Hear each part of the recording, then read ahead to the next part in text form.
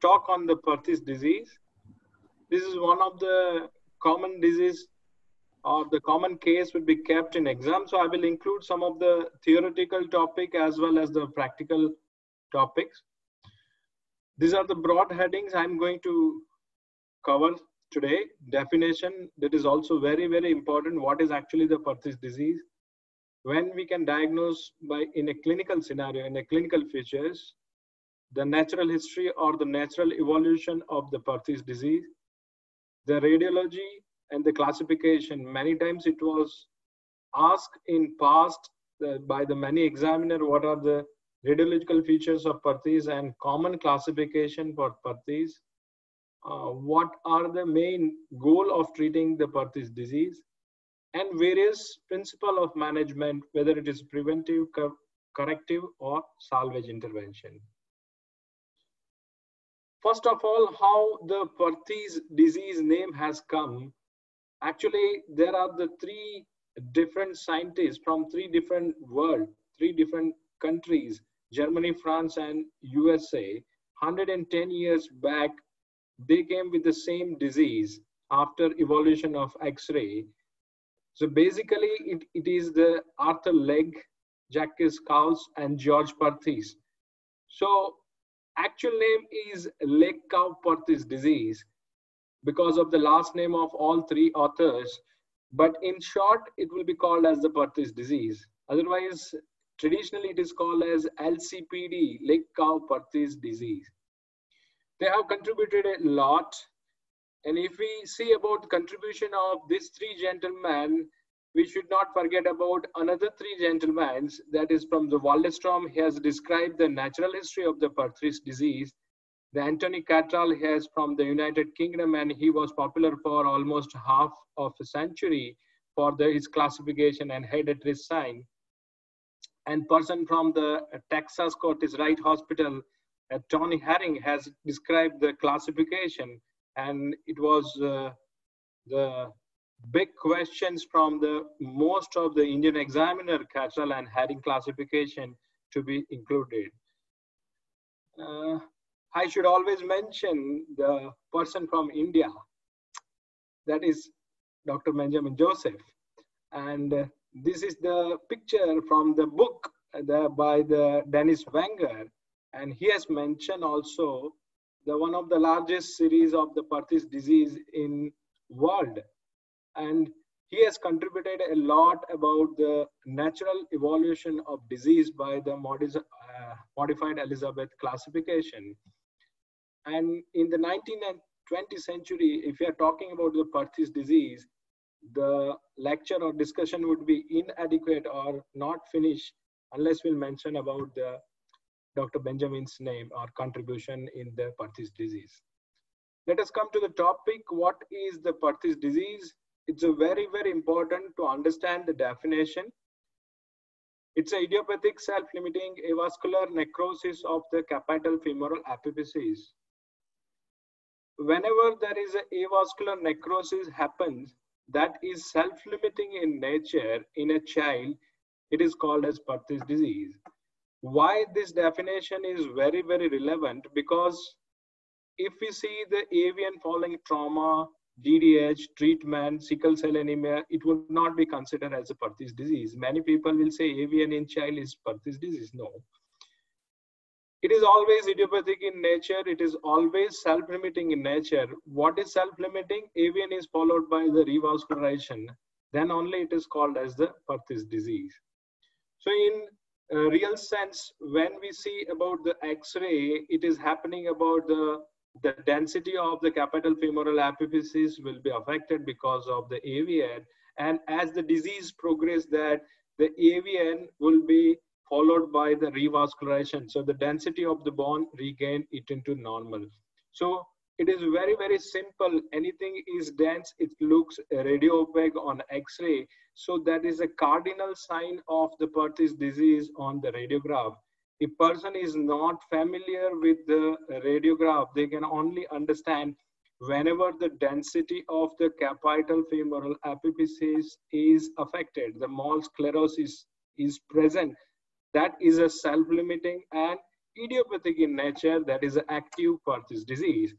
What happened during the process of time, the AVN would be followed by revascularization. So it, the density of the femoral head will become the normal and that is called as the healed Perthes disease. In other sense, whenever the density is more, that is called as the active Perthes disease.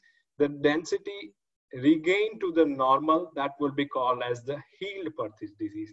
So we need to understand the active Perthes disease and healed Perthes disease.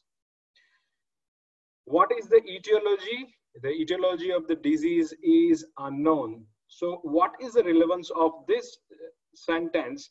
So whenever we will see the density is more, we need to find out the etiology. So we need to rule out infection, inflammation, sickle cell anemia before stamping or before saying in a diagnosis why it is relevant in the postgraduate.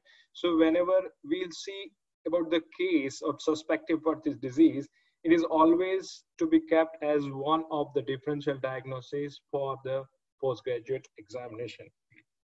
What is the epidemiology? Because of the strange reason, it is very, very common in the southwest of the India. And compared to the, the Western world, it is not very common in the crowded city. If you see in a Western world where in the Scandinavian country and London, it is very common in a crowded city, but the epidemiology of the Perthes in India is a little different than the Western world. And as I said, that is very common in the West Coast, Southwest Coast, and it was proven in some of the studies that the incidence was much higher in the West Coast from the Panvel to the Trivandrum compared to eastern part of India. What is the relevance of this point?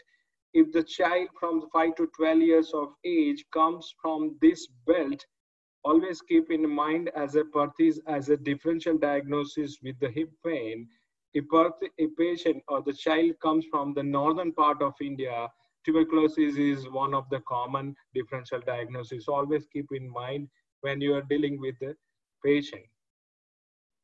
What are the clinical features when you can say about suspect of the Perthes hip?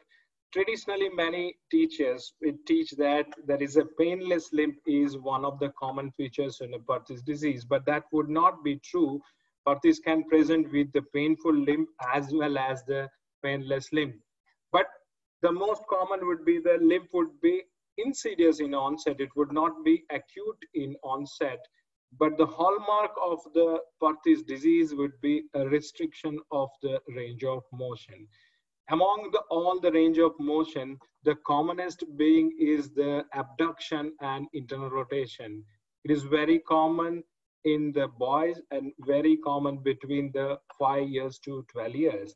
But epidemiologically, it will be older in the Indian scenario compared to the Western world. Western world will have the age of onset of disease would be little bit early than the Indian scenario.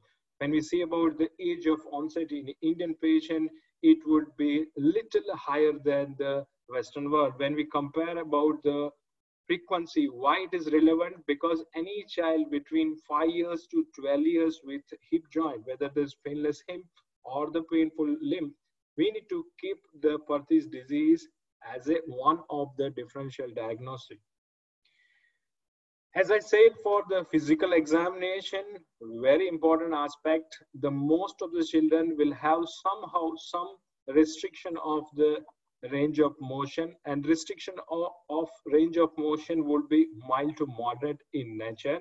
Very rarely we will see the child with the severe restriction of all range of motion. And among all range of motion, very common to have the passive abduction and internal rotation would be restricted.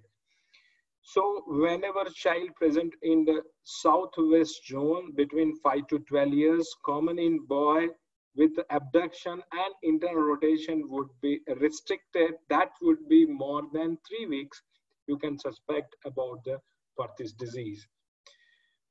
As a cl clinical findings, the abduction would be restricted or internal rotation would be restricted, or sometimes it would be restriction of the both. Very rarely we will find out the flexion would be restricted. Common is the abduction and internal rotation and it will be utilized as the screening test. If you see the cortis is very common, it can be used for the children who are studied in school for the screening who are having Perthes disease or not. What is the evolution of the disease? As I said, the, the avascular necrosis would be followed by the revascularization and that would be complete healing. So whenever the AVN happens in uh, any part of the body, it will followed by the osteoclastic activity and resorption of the bone. And that is the reason that will cause the fragmentation of the epiphysis and the newborn neovascularization will happen and new bone formation will happen from the anterolateral aspect of the femoral head. So in a broadly, the Perthes would be classified into the four different stages depend on the evolution of the disease. The stage of the avascular necrosis, stage of the fragmentation, stage of the revascularization and the complete healing depends on the evolution of disease. Similarly, how they progress.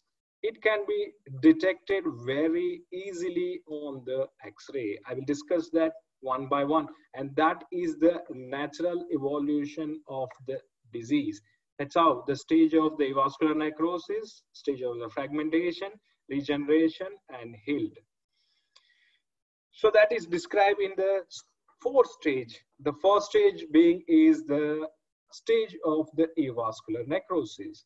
It will be further divided into two stages. It's a stage 1A and a stage 1B, but by and large, stage 1 is the avascular necrosis, where the epiphysis appears dense and then flatten. So whenever it is a stage of the avascular necrosis, the capital femoral epiphysis looks radiodense.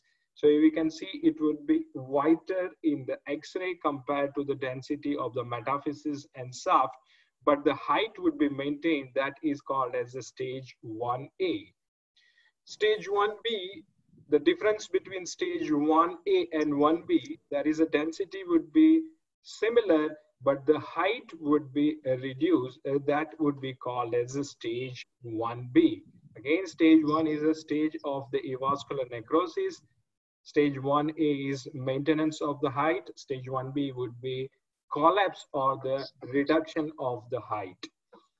What happened in a stage of the fragmentation that is called as a stage 2 where the epiphysis gets fragmented and that where the maximum collapse happens uh, this is the stage is very crucial. The maximum deformation of the femoral head happens in stage of the fragmentation. The stage of fragmentation would be divided into two, a stage 2A where one or two fissure appear from the subchondral bone towards the physis. It would not be horizontal. Many times, many postgraduate will be confused where we'll see the subchondral fracture line that would be the gate sign or Waldenstrom sign, but that will be a part of stage one, where we'll see about the fragmentation from the subchondral to the physis. If there is a single or two fragmentation in AP and froglateral, it is stage 2A. When the fragmentation increase more than two, it would be considered as stage 2B. So whenever there is AVN, no fragmentation, that is stage one. Whenever there is a AVN with the fragmentation, it is stage two. What happened in stage three, where the new bone formation happens from the periphery of the avascular epiphysis, and the new bone would be a less denser than the actual avascular necrosis. So it would not be looking as, as much about the radio dense. So whenever we will see any new bone formation or texture of the bone would be less than the density of the epiphysis, then that will be giving idea about stage three. And when the new bone formation happens less than one third of the circumference of the epiphysis, it will be only present on the lateral aspect, would be called as the stage 3A. When it will be covering more than the one third, it will be called as stage 3B. Again, I will see the blue mark is there where the density would not be as much as the central part. It will be covering more than one third to two third. That would be called as a stage of regeneration or a stage of the revascularization. In stage 3A, less than one third, and stage 3B, more than one third of the periphery of the epiphysis. When the process of the revascularization and repair would be complete, and there would not be evidence of the avascular bone in epiphysis, it would be called as the healed stage. As I said in beginning, the density of the epiphysis would be looking exactly like a metaphysis that would be considered as a stage four. So if you see the entire process of the natural history, it will take around two to four years. And when we studied, every stage will follow few months, three months to six months in duration. But maximum period would be passed in the stage of the fragmentation and the stage of revascularization. It varies from the child to child, it varies from the age to age, from the boys and girls. But the same it will be classified what we discuss up to stage one that is the avascular necrosis where the height is maintained where the stage of the uh, late stage of the avascular necrosis where the height is reduced and that is stage 1a and stage 1b where there is a fissure is appearing from the subchondral bone to that we can see on a single fissure that would be called as stage of early fragmentation. Then fissure will be more than two that would be called as the advanced stage of the fragmentation or a late stage of fragmentation. When we see about the, the density on the lateral aspect, that will give idea there would be new bone formation present that is called as early stage of revascularization or stage 3A. When there is a, the revascular process would be covering more than one third, it will try to cover that would be called as the late stage of regeneration. And if you see in the last part, the density from the first part would be radio dense. In the last, it will disappear the density. The density will remain the same. That would be called as a heal stage. So this classification will be very, very important and being classified by Dr. Benjamin Joseph.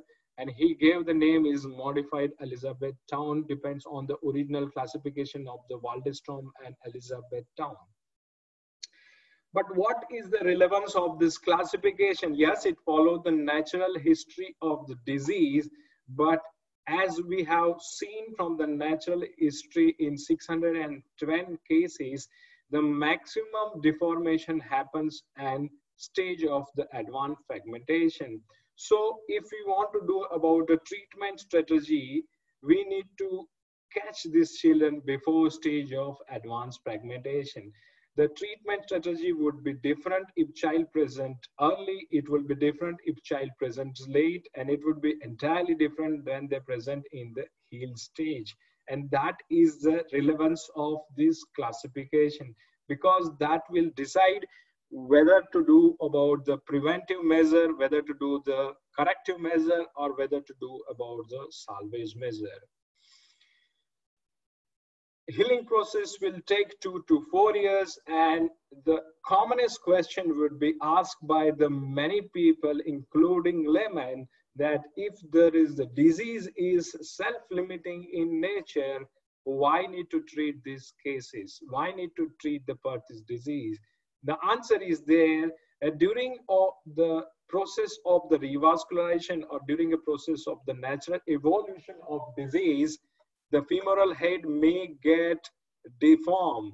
It may lead to the, the bigger femoral head that is called as the coxa magna, the shorter neck that would be called as the coxa breva, or the last side, the right side is that the irregular femoral head. It would be called as the coxa irregularis. The femoral head would be like the clay toys that we can change into the shape of the femoral head in stage of the fragmentation where the weight-bearing forces can change the shape of the femoral head and that is a main aim of treating a Perthes disease to prevent the femoral head deformation, maintain the normal spherical femoral head shape.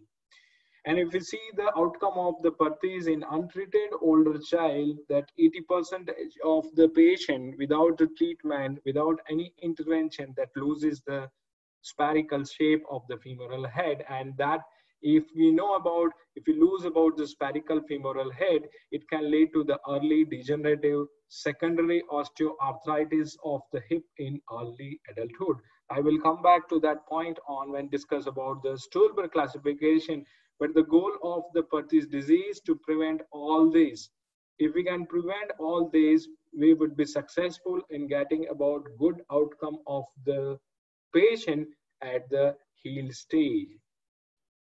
When we are discussing about the radiology of the Perthes, we need to discuss the two important aspects of the radiological classification in Perthes disease and these are the very common favorite question and some of the examiner what are the Catterall classification and the Herring classification? At the outset i will say that the both classification would be relevant only in active stage of disease and both would be relevant only in a stage of the fragmentation again i will repeat that whenever we do about the see the outcome of disease if we wait till the stage of the advanced fragmentation it would be very late. So the both classification would have relevance on the prognosis of the outcome of the disease but both are not utilized for the decision making of the treatment of disease so what is the Catterall classification? Catterall describe about the extent of the involvement when there is a group one, there is less than half is involved, the group two is half epiphysis is involved, group three more than half is involved, and group four is entire epiphysis is involved. In other sense, if you want to uh, remember that, we can say in easy way 25 percentage, 50 percentage, 75 percentage, and 100 percent. So we can divide into one, two, three, four.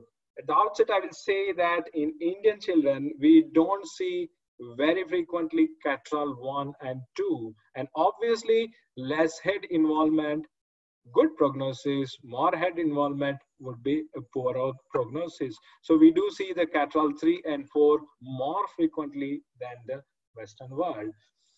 This classification is based on the extent of the involvement, so it will be utilized by the Catterall for the prognosis and the planning of the treatment, but it would be too late to do both the Catterall system in the stage of the advanced fragmentation.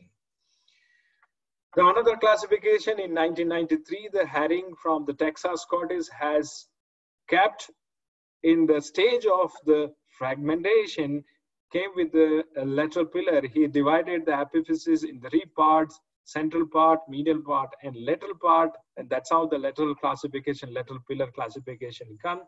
Is divided into the three group A, B, C. When there is a loss of the height would not be present, it will call as a group A.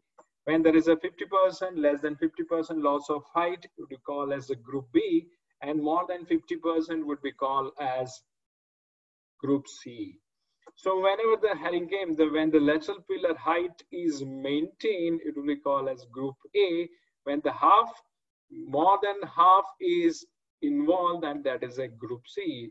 Later, the herring has added B bar C, that is exactly at the 50%. That's added is that B bar C in his lateral pillar classification. Again, the lateral pillar classification would be utilized only in stage of fragmentation. In early stage of disease, you cannot classify by the Herring classification. The classification will have the value for the predicting the prognosis when the lateral height is maintained and that is a sense for making the classification when the lateral height of the lateral pillar is been maintained, it will be associated with the good outcome. When the lateral pillar is severely involved like C, it would be associated with the poor outcome. And that is the reason we need to do about the three classification till now, modified Elizabeth classification, Catterall classification, and Herring classification. The fourth classification is the Stulberg classification, but it will be useful only after the disease will be healed. That is a prognostic classification. It says from 1 to 5, but once the disease is healed, ideally it should be useful at the skeletal maturity to predict whether this hip is going to last forever or not. So whenever we evaluate the outcome of disease, we need to apply about the Stulberg classification. The postgraduate must remember which classification would be useful when. In active stage of disease, there is a Catterall and Herring classification, the natural history of disease, modified Elizabeth classification, and healed disease at the end of the disease, when we see the case after five years following a Perthes disease, you can apply about the Stulberg classification. What is Stulberg classification? It says from 1 to 5 and 1 is associated with excellent outcome while 5 is called as the worst outcome. We'll see one by one. One is that is absolutely normal. We cannot find out whether the right or left Perthes child was there. It looks identical in nature it will last forever. Ideally, we can get about outcome of disease like this, it would be excellent, but we may not get that. What is the Stulberg?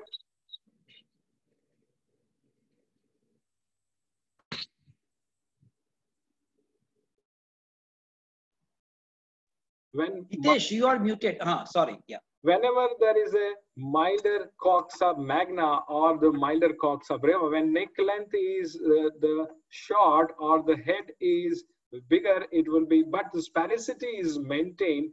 That is called as the Stulberg 2. So 1 and 2 is spherical and congruent. Only difference between 1 and 2 is there would be coxa magna and breva, but that is spherical congruency will be maintained. What is the Stulberg 3?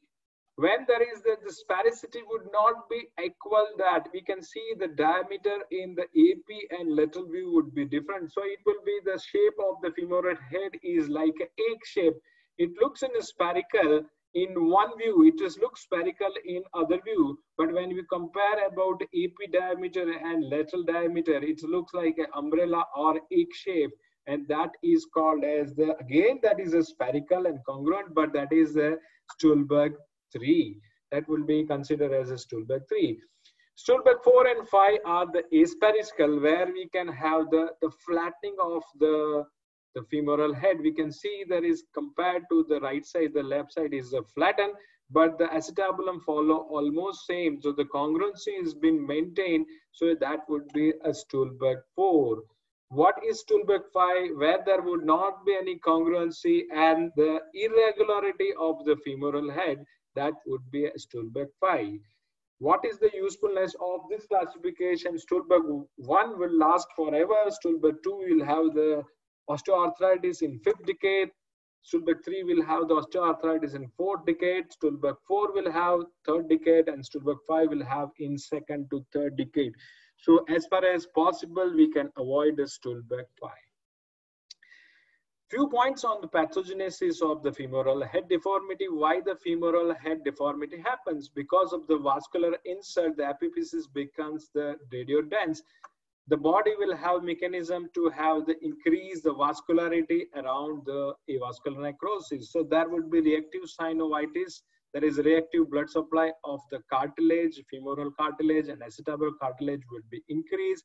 And this all can lead to the femoral head extrusion. So whenever there is an AVN, that would be associated synovitis, hypertrophy, associated with the muscle spasm of the adductor and hip will go in adduction that can lead to the femoral head extrusion. And if the femoral head extrusion happens, the AVN area would be subjected to the weight-bearing forces and muscular forces.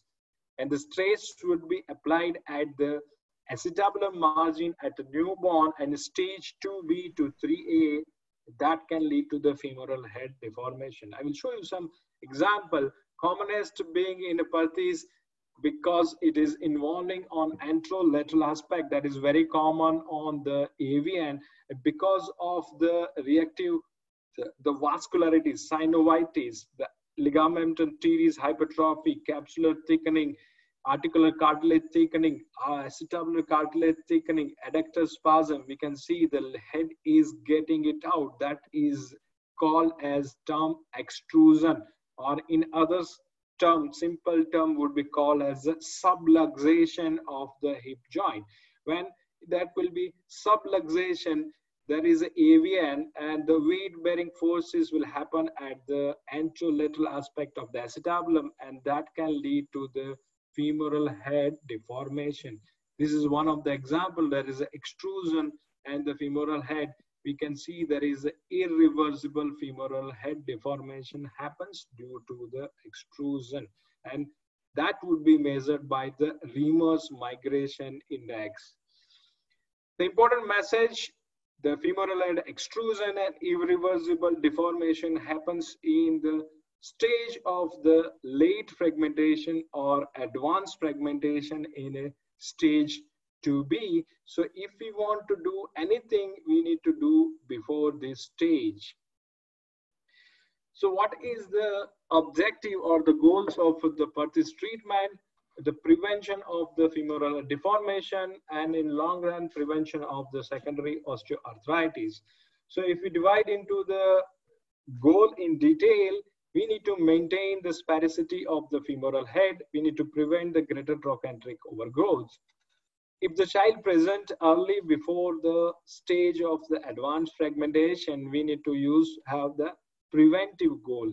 If the child present following a stage of the advanced fragmentation, that is irreversible femoral shape would be distorted. So we need to correct about consequences of the altered size and shape of the femoral head if child present in a late stage, we need to the option or the aim of the treatment for the salvage or the relieve the pain. So when we see about the natural history of the Perthes disease, if child say that irreversible femoral head deformation in the stage of the fragmentation, if the child comes in stage of the AVN, in early AVN or late AVN or early fragmentation, the preventive intervention would be justified. If the child present in a stage of the late fragmentation or early reconstitution, the remedial or corrective measure would be required. For child present beyond the stage 3B or later in case of the hill stages, required to have the salvage surgery. And that's how this classification is very, very useful. It has been taken into consideration by the International Perthes Study Group. And this classification is useful across the world. So we'll discuss one by one what is a preventive measure, remedial measure, and the salvage measure. Let us talk on the preventive measure. Preventive measure means we are talking in a stage of the AVN or early fragmentation.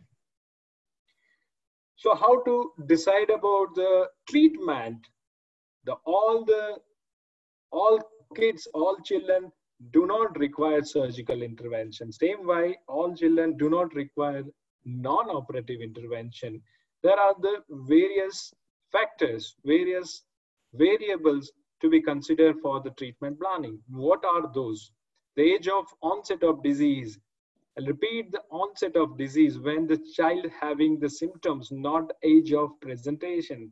The stage of disease, again I said in stage of the AVN or the early fragmentation the extent of the epiphyseal involvement, if it is half or more than half, presence of epiphyseal extrusion and range of motion. We'll discuss one by one. The child age is divided in less than 5, more than 12. Less than 5 would be associated with good outcome. More than 12 would be separate entity called as the adolescent Perthes. 5 to 12 is still controversy across the world.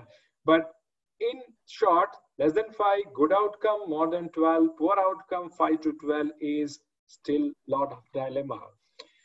Prognosis is poor in adolescent and prognosis is very, very good in a younger age group. The older as a child associated with the poor the outcome. How the extent of the involvement as described by the Catterall, less than half would be associated with good outcome, more than half is associated with the poor outcome. The presence of the epiphyseal extrusion and the study said whenever there is more than 20% of extrusion, it will be associated with poor outcome. So we need to prevent the 20 degree or more extrusion in any stage of the disease. The range of motion, whether the range of motion has been restored or whether range of motion is limited. Range of motion is one of the important factor which will decide about the treatment if you want to justify any intervention by the surgical, either the femoral or acetabulum, you should not embark any surgery when the range of motion is restricted. The femoral osteotomy or acetabular osteotomy is justified only the range of motion have been gained to the normal. So how the decision making would be useful by considering about the, all the factors we'll discuss less than five as i said it will associated with good outcome, the most of these kids doesn't require any surgical intervention at any time. The non-operative containment in term of the bracing, you need to require about abduction braces and it is easy to maintain the abduction brace in children less than five years. The five to seven years depends on that what is the extent of involvement and extrusion if there is an extrusion present between the five to seven years, they will require about the surgical containment. And seven to 12 years, when we learn that the natural history in this older patient, it will be always associated with poor outcome. In early stage of disease, we need to do about containment before extrusion happens. The extent of the involvement, if less than half, it will require no containment, more than half will require containment. Again, I will repeat, we don't see the children less than half epiphysis involved. We do have cases more than half involvement. The stage of disease, the early presentation, we need to have a containment. The containment will not have same role as early stage of the disease as in late stage of disease we need to do about containment, we need to do in early stage of disease. In late stage of disease, we might lose or the miss the boat in that because we have proven in the study the chances of getting a spherical femoral head is good if we do in early stage of disease. If there is internal rotation and abduction is restricted, do not consider for containment. In those cases, very commonly it will be kept in exam. Do not jump and say when the range of motion is restricted, this child will require the surgery. The simplest option is to gain the range of motion by keeping a few days of the skin traction. Always keep in mind whenever range of motion is restricted, regain the range of motion before embarking the surgical containment. Reassess the interrotation and abduction after few days of traction. If it is still restricted, you need to think about something else like broomstick cast. Normally, most of the kids, we can gain the good range of motion after five to seven days of the skin traction. Less than 10 percentage of the children will require about the broomstick cast for the six weeks always consider the range of motion is very important. Variable do not do surgery when the range of motion are restricted. Always do surgery after the range of motion has been restored to be normal. What are the surgery? That is called as the containment surgery and trochanteric epiphysiodesis there are two surgery femoral containment and the acetabular containment there are option. It will be asked by the some of the examiner why femur. It is easy, no risk of the any injury and no intra-articular pressure increase compared to the acetabulum. And there is evidence that we can able to bypass the stage of the fragmentation if we do the femoral containment. The lecture would not be finished if you don't mention about the pelvic containment because in the Western world, many people do the Salter or the shelf-osteotomy.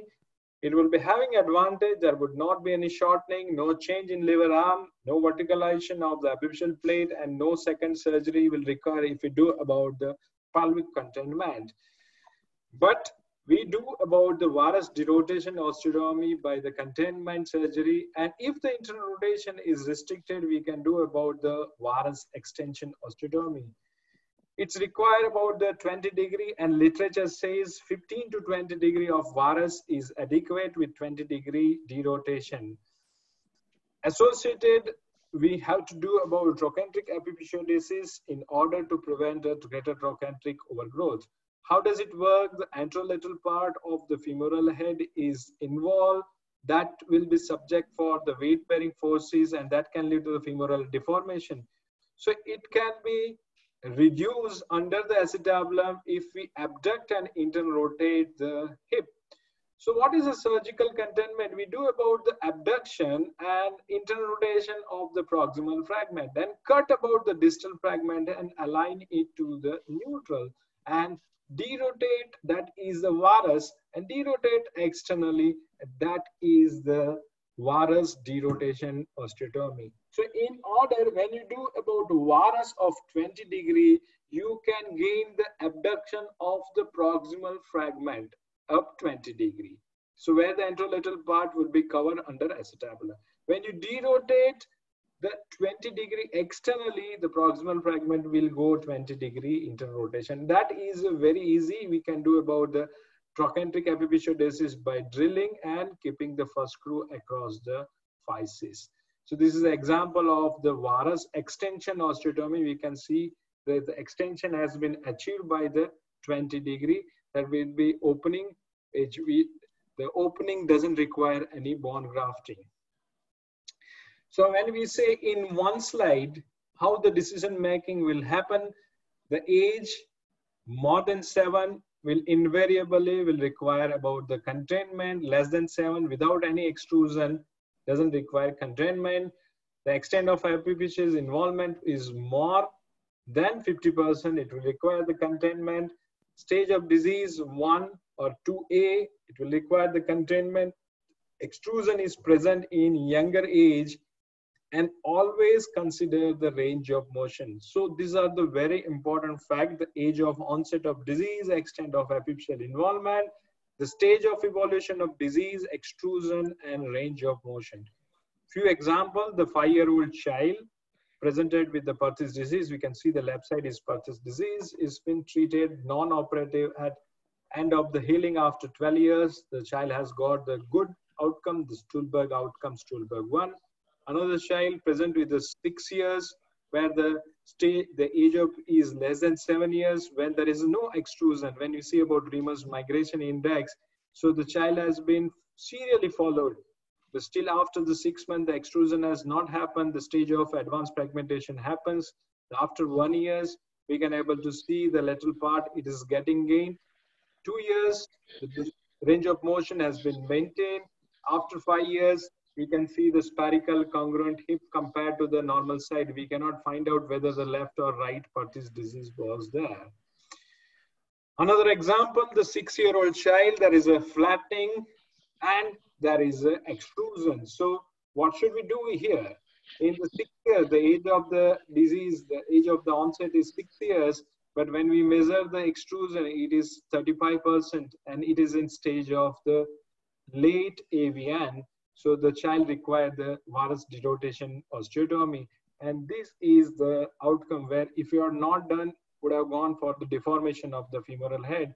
We gain the normal spherical congruent hip at the healing at the five years of the age. The older child in the early stage of the AVN, but even though we know about natural history of disease, this child will require straight away the surgery varus derotation osteotomy in early stage of disease. If we follow it three months to nine months to 12 months, it will follow the different stage. Now you can see that it's stage 3B.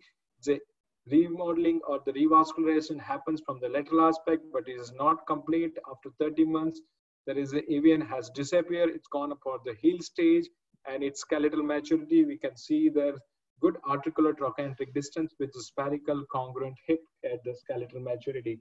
Similarly, the early stage of fragmentation in older age group, the half epiphysis is involved, treated with the video and good spherical congruent hip. I like to add one more point is there. What is the role of the trochanteric epiphysiodesis? If you see that the whenever we do the varus derotation osteotomy, trochanter used to migrate it up. So always consider about trochanteric epiphysiodesis and it works very well up to the 10 years of age in more than 50 percentage of the cases. So whenever we do about the varus derotation osteotomy, always combine with the prophylactic trochanteric epiphysiodesis. And this is one of the example, the articular trochanteric distance it be comparable to the both side at the skeletal maturity. Few controversy, I am not going in detail, but the people have not found the answer whether weight relief is good or not. Everybody will have their own strategy. Non-operative treatment will be comparable with surgical result, femoral or acetabular, but virtually there is no level one evidence to answer this question I mention it here because the many institutions will have different different protocols for treating about the Perthes disease. So the person must be aware what is the controversy. In short, they can find out or they can say virtually there is no level one evidence showing one is better than the other, whether it's a weight relief. There are studies are going on and probably in one decade we will have the answer for all this controversy. That is the preventive, ideally the role of the uh, goal of the Perthes should be preventive. If the child present in a late stage of disease, what should we do? We need to have a remedial intervention. What are the problems when they present in the late stage of disease? we don't have control that when child can present in early stage of disease, they can present in a late stage of disease. So what are the issues that extrusion with pro progressive deformation of the femoral head and the hinge abduction? So whenever the child present in advanced stage of the fragmentation, we need to think about the two issue, major issue, extrusion and the hinge abduction. So how to find out what should we do for the both for that whether can we do about containment surgery but the chances of getting about the containment is very very less in advanced stage of fragmentation. As we said 17 times less than compared to the early stage of disease. And second issue is the hinge abduction. What is the hinge abduction? Many times it would be question from the examiner how to find out the hinge abduction. In a clinical sense, whenever the range of motion is severely restricted in advanced stage of fragmentation, you can think about the hinge abduction. Hinge abduction is ideally detected by the plain radiograph, plain abduction radiograph. So we can see about how to differentiate between the normal abduction and hinge abduction. This is on left side is normal abduction, on the right side is the hinge abduction. So what is the difference between the normal abduction and the hinge abduction? When we see about the center of the rotation or the center of the abduction happens at the center of the femoral head in normal abduction, where the abduction in the hinge abduction happens at the margin of the acetabulum. And second commonest difference between the hinge abduction and normal abduction, when we see about the joint space would be uniform in case of the normal abduction. Wide in hinge abduction, it, the medial joint space is widened and crescentrically more compared to the normal abduction. So whenever we see the left side of picture in abduction view, that is normal abduction. Whenever we'll see uh, this kind of picture, that would be the hinge abduction. Why need to detect the hinge abduction? So whenever we'll see hinge abduction, that is the contraindication of doing about the varus derotation osteotomy. So in late stage of disease, what is our goal to find out whether the child has got hinge abduction or not? If you embark the varus derotation osteotomy rather than helping the child, it may be harmful for the child. So you should not do the varus derotation osteotomy. So again, I said it happened in advanced stage of fragmentation. It would be associated with remarkable reduction of the range of motion and it will give idea about the femoral head deformation. So if you cannot find out the uh, hinge abduction in the plain radiograph, you can see the medial pooling of dye by doing about arthrogram, but it is very well detected by the plain radiograph. What is the treatment of the hinge abduction? It will require valgus osteotomy, shelf osteotomy, or a Chiari osteotomy. So the post-collapse, when the child present in the late stage of fragmentation, first and foremost to find out whether the hinge abduction is present or absent. If hinge abduction is present, you should never do about varus derotation osteotomy. It will require valgus osteotomy or shelf or Chiari to increase the coverage to gain the congruency of the hip. If the hinge abduction is absent, we see whether the femoral head is enlarged or not. If femoral head is enlarged, it will not go inside by the varus derotation osteotomy. It will require to get coverage by the shelf-acetabuloplasty. If it is hinge abduction is absent with no coxa magna, still you can do about the varus derotation osteotomy, but the sphericity of getting is very, very less. Whenever there is a hinge abduction is present, this is ideal case for the valgus osteotomy. You can do about the valgus osteotomy. Or it can be treated here, the hinge abduction is present, medial pooling of dye. You can do about the Chiari osteotomy, or this is you can do about the shelf osteotomy, shelf procedure for that. But important message, whenever there is hinge abduction is present or the stage of that one fragmentation, the chances of getting the good outcome in the Stulberg 1 and 2 are very, very less compared to the early stage of disease. Few points on the salvage surgery. When should we do that? If the child present in the late stage of the healing or the full heal stage, that may be the heal. If the child may be present with the bigger head, that is called as coxa magna, the smaller neck, that is called as coxa breva, or irregular femoral head, that is coxa irregularis. And all can lead to the mechanical malalignment like trochanteric overgrowth, functional coxa vara, big femoral head that can lead to the stress across the hip joint or irregularity. And these are the recent advances in the Perthes disease. There are many enthusiasm across the world to correct the consequences or the sequelae of the Perthes disease, if the trochanter is higher and the neck is short, that is called as the coxa breva. And if you see about the abduction, it can lead to the extra-articular impingement. It is not the intra-articular shape of the femoral head is good, but because of the trochanter is impinging on the acetabulum or the pelvis, the range of motion would be restricted, so it will require the correction. So what is the coxa breva? When there is a femoral neck is short, there are the three different options, traditional, lateral and distalized greater trochanter, that is greater trochanteric transfer, or relative neck lengthening or absolute neck lengthening. This simple example, cut the, the trochanter and distal and lateralize the trochanter. This is the schematic presentation by the Dhirenbhai. He has put that cut the femur, the trochanter and do about the transfer, distal and lateral transfer on that.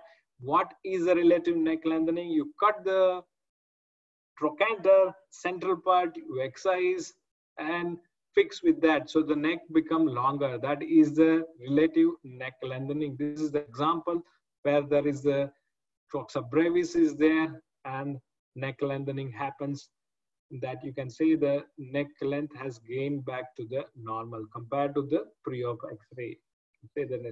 And what is the third? That is absolute neck lengthening or the Morscher osteotomy. Cut the head and cut on the lower part of the, the neck, cutting between the upper part and lower part and lateral and distalize the shaft. That is the neck lengthening. This is one of the example to have the lateral and distalization of the stop to gain. So what is the indication of the Morscher osteotomy compared to the relative neck lengthening? When it would be associated with the shortening more than two centimeter, you can do about the Morscher osteotomy on that. But reserve this all this option whenever we'll have the spherical or ovoid head because the long-term outcome would not be associated with the greater trochanteric overgrowth. It would be associated with the sphericity of femoral head. Don't do this surgery when you will have the irregular femoral head. So what should we do when there is a coxa magna, or bigger head, or the coxa irregularis you can do about the osteochondroplasty for the impingement or the Ganz osteotomy. Like this is the sphericity of the femoral head has been lost when it's required to do the osteochondroplasty and the safe surgical dislocation and retrotrochanteric transfer. Or there will be Ganz reduction osteotomy. What is it? There is a femoral head reduction osteotomy. If you see the central part of the femoral head is irregular in a frog lateral. So when you see that is spherical, the medial side is spherical. So we can able to cut about the central part and utilize the lateral fragment and medial fragment and join it together to gain about the sphericity that is called as the femoral head reduction Ganz osteotomy. It is a complicated procedure, but the outcome of this surgery, we don't know about the long-term outcome. In the safest hand, the conversion rate in total hip replacement is 30 to 50 percentage. So we don't know about the long-term outcome of this surgery, but postgraduate can write in that exam recent advances in the Perthes disease. What are the options in irreversible osteoarthritis or the hip pain?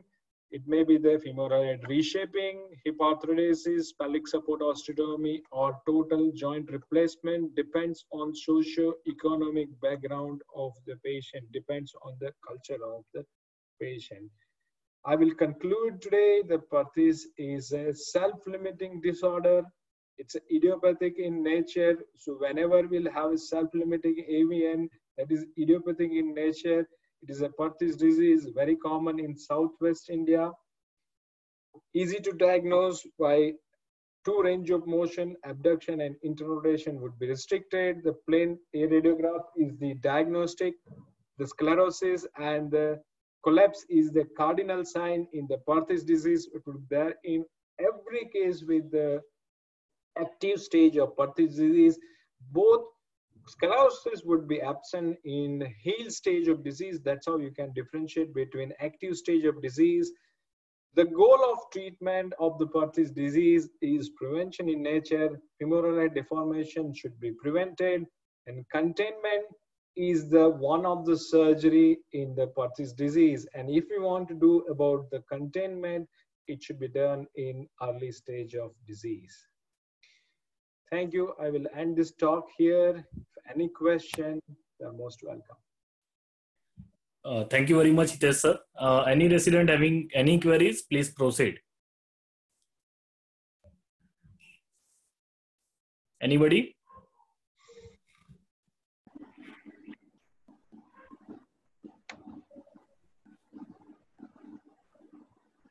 Okay. So, uh, Hitesh sir, thank you very much.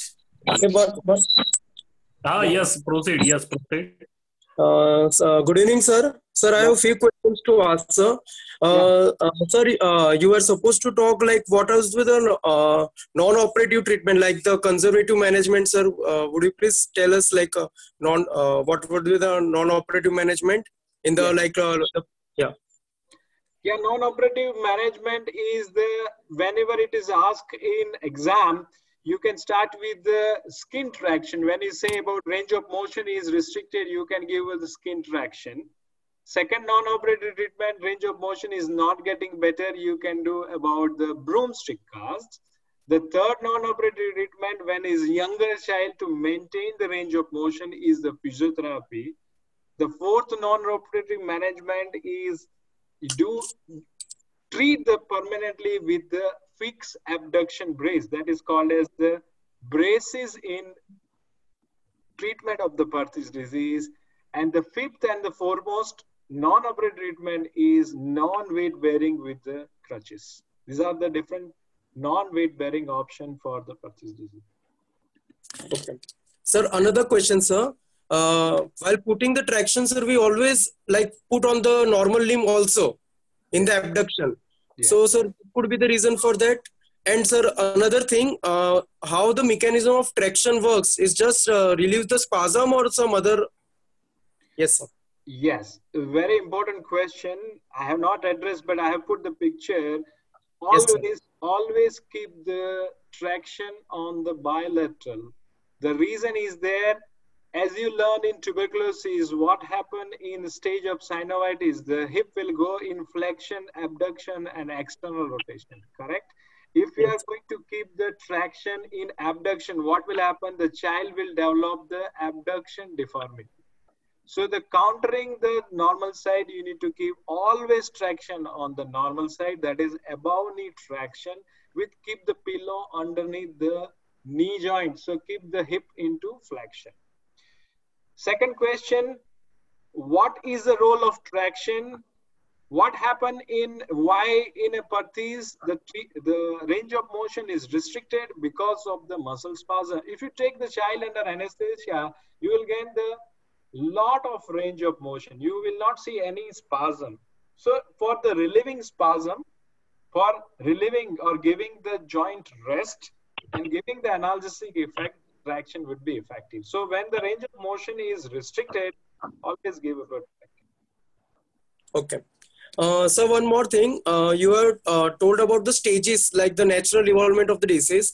So, and you said mostly by two years, uh, the entire cycles get complete, and may, uh, if things go well, uh, the patient will heal. So, what what about the in between stages time period? Is it fixed or sir, it varies from patient to patient?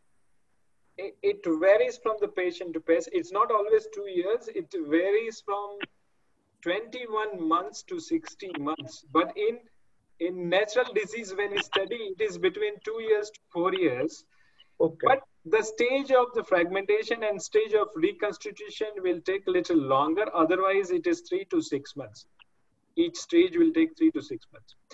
So whenever you will see the child at the stage of the AVN, why we need to know about staging of disease? If we keep the child for non-weight bearing, we need to know the irreversible deformation happens in the stage of the AVN, the advanced fragmentation. We need not to put the child with the what very heavy activity. So we need to avoid the very heavy activity, active child in the stage of advanced fragmentation. Okay, sir.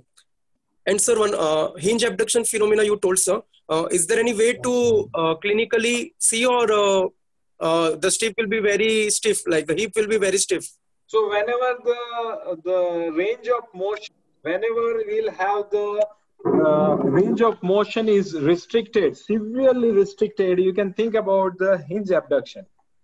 When when the range of motion is normal and suddenly we lose the range of motion, then that is the idea about that is a hinge abduction, and that happens in advanced stage of fragmentation. Okay. And sir, uh, when we do VDRO, uh, is there a, like uh, when to remove the plate, like at maturity? Because we we do trochanteric epiphysiodesis also. No, it doesn't require at uh, because we do about the screw doesn't require at skeletal maturity. Once disease is healed, we can remove the plate. Okay, sir. Okay, Hitesh sir, thank you very much for your lecture, sir. Thank you very much for your time and effort, sir. You made it every, everything clear. Thank you very much, sir. Shrikunj, Yes, yes, Hitesh, can I ask Yes, you? sir. yes, sir, yes, sir. Yes, sir. Yes, sir. You are not following uh, Salter Thompson. Uh, it is taken out from the book. No, it is there, but uh, Salter and Thompson, we will see only in 30 percentage of cases. So for avoiding confusion, I have avoided Yeah, that. that- that's okay. That's okay.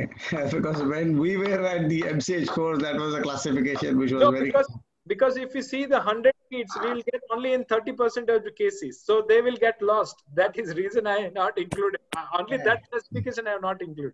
Yeah, agreed, agreed. Secondly, those children Yes, sir. uh, with whatever you are saying, the restriction of movement because of the spasm, these are the people what we used to do get them under GA. If they have a moment, uh, if they under moment, they, you are able to reduce, get the surgery earlier. Otherwise, the, we used to lose, lose them as follow-up patients.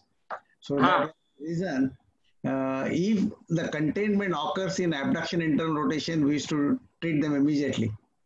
Yeah, yes, sir. But the whenever the spasm is there, the, uh, the as soon as child will come out of anesthesia, there will sometimes would be spasm would be there. So it's better to do the surgery once we gain the range of motion, in order to prevent because the stiffness is the one of the important the prognostic sign.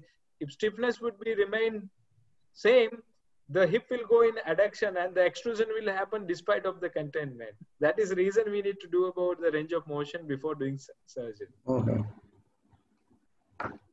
Thank you. Yes, there is a question from Yash. Yes. When to do shelf osteotomy? Uh, because it uh, resolved in some months. It resolved. Yeah, yes. Resolved. Resolve, Yeah, re- uh, sir, resolved, sir. So we have seen that uh, while doing shelf osteotomy, sometimes it resolves in like six months follow up or some. Uh, so, sir, what could be the next? Uh, we have to wait for the sequelae to happen to for go for next or what? Sir? The, uh, the reason the shelf osteotomy has been popularized by the UK group, uh, but the, if we need to see, you need to have the adequate shelf. If you do the lot of the bone graft, it can lead to the secondary femoroacetabular impingement. So you need to be very optimum on that. The people have started using even the secure shelf, but I, I don't advocate the secure shelf. I reserve the shelf only in the cases where there is an advanced stage of the fragmentation and early stage of reconstitution or the older child where we cannot do about the VDRO then only i do the shelf. I do shelf very very less less than 2% in kids in VDRO in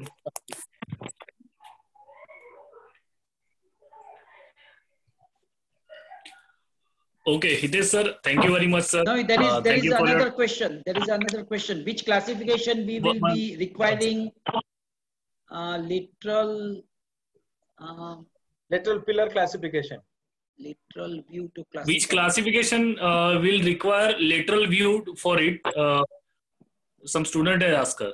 Yeah, that's a, yes. The modified Elizabeth, all the all the uh, the classification that among all the classification, like uh, the the Catterall classification require AP lateral because it is the anterior part, anterior and lateral part, medial part, and entire head involvement.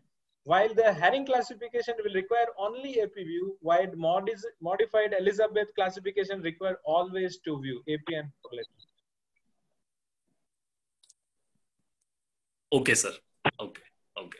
Okay. So Thank you very much, Itesh sir. Thank you very much for your time and efforts. And uh, thank you very much, uh, Pachore sir and uh, Dhiren sir, for your presence, sir. It was a great lecture.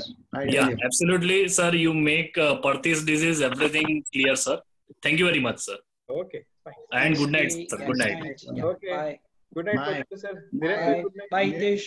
Good night. Good night. Good night. Good night. Yes. Good night, sir. Good night to all, sir. Good night. Good night.